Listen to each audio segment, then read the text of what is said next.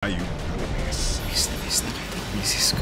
Posible kaya yun na hindi si Emmanuel ang kaharap ko? Na hindi si Rose? Ngayon lang, Nag-usap pa kasi kami ni Yaya Divine. si Divine ang kasama. Wala ka bang ibang sasabihin sa akin? Surprise! I hope you're not buying that from my wife. Hindi, Leo. It's for my wife.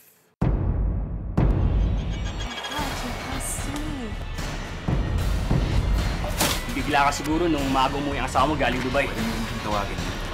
Dahil bumalik na si Rose. Buhay si Rose. Siya si Emmanuel. Sasha, stop it! Si Rose na naman.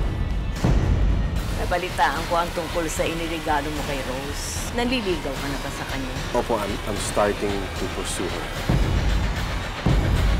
Sana bukas pa ang kahapon